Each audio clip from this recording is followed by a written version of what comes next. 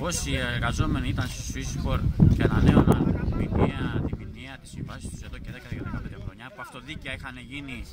αορίστου χρονού, η εταιρεία τους είπε να μην ξανάρθουν για δουλειά, να πάρουν χαρτί για να πάνε στον ΑΕΠ. Αυτή είναι μια τεράστια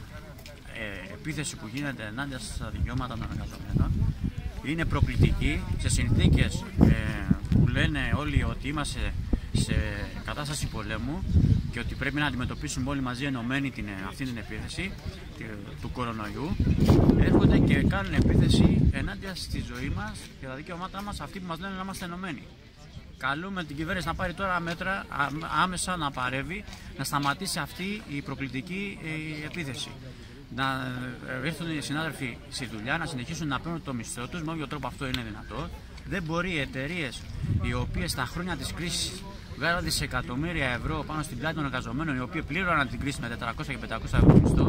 να έρχονται τώρα και να λένε στους εργαζόμενους ε, πήγαινε σπίτια σας και ε, πληρώστε την επόμενη κρίση που έρχεται με τον κορονοϊό.